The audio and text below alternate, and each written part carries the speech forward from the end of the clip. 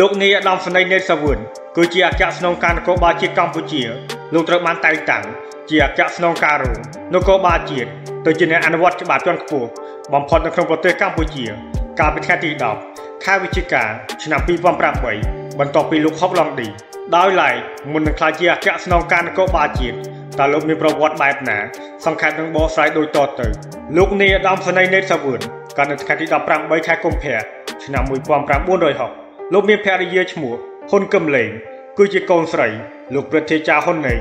លោកព្រឹទ្ធាចារ្យហ៊ុនណេងត្រូវជាបងប្រុសសម្ដេចតេជោហ៊ុនសែននាយករដ្ឋមន្ត្រីនៃព្រះរាជាណាចក្រកម្ពុជាបើរាប់ជាសាច់ឈាមលោកត្រូវជាក្មួយប្រសារបស់សម្ដេចតេជោតែម្ដងលោកនាយឧត្តមស្នេហ៍នេតសាវឿនបានបញ្ចប់ថ្នាក់អនុរិទ្ធវិទ្យាសាស្ត្រនយោបាយពីឆ្នាំ1989ដល់ឆ្នាំ1993លោកនេតសាវឿនជាស្នងការ នគរបាលក្រុងភ្នំពេញបន្ទាប់ពីអាណាព្យាបាលឆ្នាំ1992ដល់ឆ្នាំ1993របស់អង្គការសហប្រជាជាតិនាំឲ្យមានការបោះឆ្នោតនិងការបង្កើតប្រជាជាតិចក្រកម្ពុជាលោកណេតសាវឿនត្រូវបានផ្ដល់មុខតំណែងនៅក្នុងក្រសួងមហាផ្ទៃជាប្រធាននាយកដ្ឋានយុទ្ធធរនៃនាយកដ្ឋានព្រហ្មទណ្ឌនៅពាក់កណ្ដាលទសវត្សរ៍ឆ្នាំ2000លោកត្រូវបានតែងតាំងជាអគ្គស្នងការរងនគរបាលជាតិ នៅថ្ងៃទី10ខែវិច្ឆិកាឆ្នាំ2008លោកត្រូវបានតែងតាំងជាអគ្គស្នងការរងនគរបាលជាតិទៅជាអ្នកអនុវត្តច្បាប់ជាន់ខ្ពស់បំផុតនៅក្នុងប្រទេសកម្ពុជា បន្ទាប់ពីលោកហុកឡុងឌី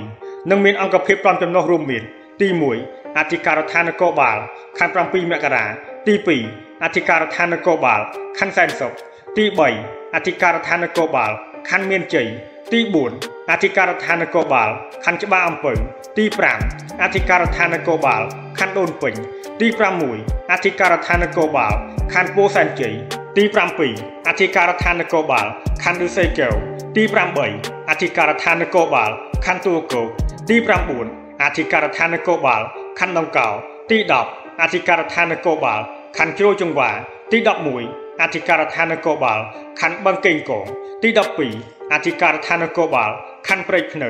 ទី13អធិការដ្ឋាននគរបាលខណ្ឌកំពូលគួររំលឹកផងដែរថានគរបាលជាតិត្រូវបានចាប់បដិសន្ធិក្រោមស្នាមព្រះហស្ថដ៏ថ្លៃថ្លារបស់សម្ដេចព្រះនរោត្តមសីហនុព្រះបរមរតនកោដ្ឋនៅថ្ងៃទី16ខែឧសភា ឆ្នាំ1945ដោយត្រូវបានប្រសិទ្ធនាមថានគរបាលជាតិ